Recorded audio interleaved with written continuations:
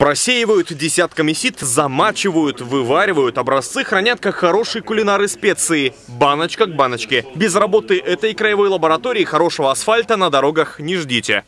Закидываются стальные шары, масса, которая тоже регламентируется нормативными документами. Там для каждой фракции своя масса идет. Далее это все заливается двумя с половиной литрами воды комнатной температуры. Чтобы приготовить такое блюдо, перед началом строительного сезона выезжают на карьеры добычи, увозят в лабораторию пробы щебня и песка, проводят комплекс испытаний. Прочность, морозостойкость и стираемость. Чем крепче материал, тем долговечнее будет слой. Отсеял песок, отсей недобросовестного поставщика. Но в основном у нас уже на рынке остались именно поставщики те, с которыми мы работаем уже не первый год. То есть они знают, что у нас очень высокие требования к качеству материалов.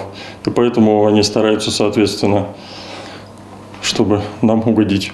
Потому что если эта лаборатория высокой кухни ингредиенты отвергнет, уже не получится продать их дорожникам. А если последние все же не побрезгуют недобросовестным поставщиком, им напомнят, что проверяют и готовое блюдо тоже.